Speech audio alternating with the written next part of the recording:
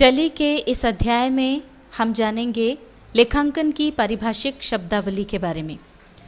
इस अध्याय में जो टर्मिनोलॉजी शामिल हैं, उसमें हैं व्यापार, यानी ट्रेड पेशा, यानी प्रोफेशन व्यवसाय, यानी बिज़नेस मालिक, यानी ओनर पूंजी, यानी कैपिटल आहरण, यानी ड्राइंग्स माल, यानी गुड्स क्रय, यानी परचेज विक्रय, यानी सेल्स क्रय वापसी, यानी परचेज रिटर्न और विक्रय वापसी यानी सेल्स रिटर्न व्यापार यानी ट्रेड लाभ कमाने के उद्देश्य से किया गया वस्तुओं का क्रय विक्रय व्यापार कहलाता है। पेशा यानी प्रोफेशन आय अर्जित करने के लिए किया गया कोई भी कार्य या साधन जिसके लिए पूर्व प्रशिक्षण की आवश्यकता होती है, पेशा कहलाता है। डॉक्टर, वकील, शिक्षक, इंजीनियर आदि द्वारा किए गए कार्य पेशा कहलाते हैं। व्यवसाय यानी बिज़नेस। ऐसा कोई वैधानिक कार्य जो आय या लाभ प्राप्त करने के उद्देश्य से किया गया हो, व्यवसाय कहलाता है। व्यवसाय एक व्यापक शब्द है, जिसके अंतर्गत उत्पादन कार्य, वस्तुओं या सेवाओं का क्रय विक्रय बैंक, बीमा, परिवहन कंपनियाँ आदि आते हैं। व्यापार व पेशा भी इसी के अंतर्गत आते हैं। मालिक यानी ऑनर वह व्यक्ति या व्यक्तियों का समूह जो व्यापार में आवश्यक पूंजी लगाते हैं, व्यापार का संचालन करते हैं, व्यापार की जोखिम सहन करते हैं, तथा लाभ व हानि के अधिकारी होते हैं, व्यापार के स्वामी कहलाते हैं। यदि किसी व्यापार का मालिक एक व्यक्ति है तो वह एकाकी व्यापारी यानी प्रोपराइटर कहलाता है। और यदि मालिक दो या दो से अधिक व्यक्ति हैं तो साझेदार यानी पार्टनर्स कहलाते हैं। पर यदि बहुत से लोग मिलकर संगठित रूप से कंपनी के रूप में कार्य करते हैं तो वे उस कंपनी के अंशधारी यानी शेयर होल्डर्स कहलाते हैं।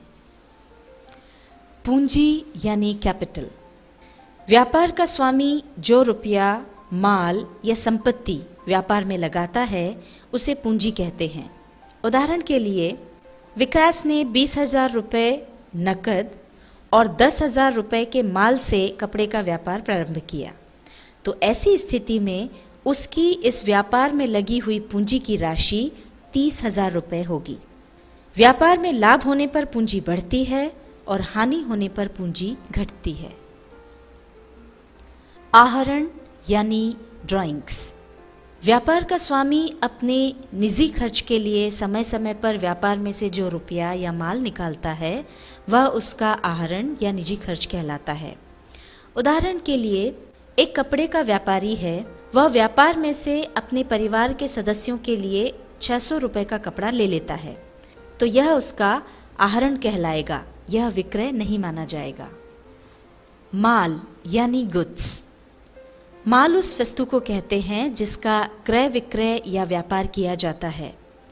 माल के अंतर्गत वस्तुओं के निर्माण हेतु प्राप्त कच्ची सामग्री, अर्धनिर्मित सामग्री या तैयार वस्तुएँ हो सकती हैं। उदाहरण के लिए, वस्त्र विक्रेता द्वारा खरीदा गया कपड़ा, चीनी मिल द्वारा खरीदा गया गन्ना व निर्मित शक्कर, फर्नीचर के व्यापारी द्वारा फर्नीचर बनाने के लिए खरीदी गई लकड़ी व तैयार फर्नीचर अनाज के व्यापारी द्वारा खरीदा गया अनाज उन व्यापारियों के लिए माल है। क्रय यानी परचेज पुनः विक्रय के उद्देश्य से व्यापार में खरीदा गया माल क्रय या खरीदी कहा जाता है। व्यापार में माल उधार या नगद खरीदा जा सकता है। उदाहरण के लिए, यदि कोई कपड़ा व्यापारी व्यापार के लिए कपड़ा खरीदता है तो यह क्रय के अंतर्गत आएगा। पर यदि वह अपनी दुकान के संचालन के लिए फर्नीचर खरीदता है तो यह क्रय यानी परचेस के अंतर्गत नहीं आएगा, क्योंकि यह फर्नीचर उसने अपनी दुकान को संचालित करने के लिए खरीदा है, बेचने के लिए नहीं। विक्रय यानी सेल्स जो माल बेचा जाता है, उसे विक्रय कहते हैं। जो माल नकद बेचा जाता है, उसे नकद विक्रय यानी कैश सेल्स और जो माल उधार बेचा जाता है, उसे उधार विक्रय यानी क्रेडिट सेल्स कहा जाता है।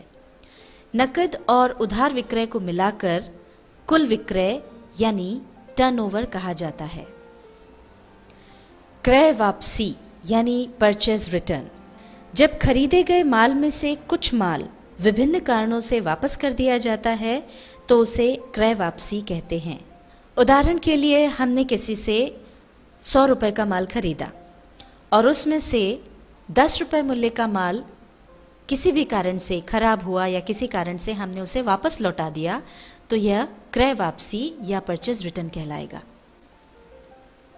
विक्रय वापसी यानी सेल्स रिटर्न जब बेचे हुए माल का कुछ भाग विभिन्न कारणों से व्यापारी लौटा देता है तो इस प्रकार की वापसी को विक्रय वापसी कहते हैं।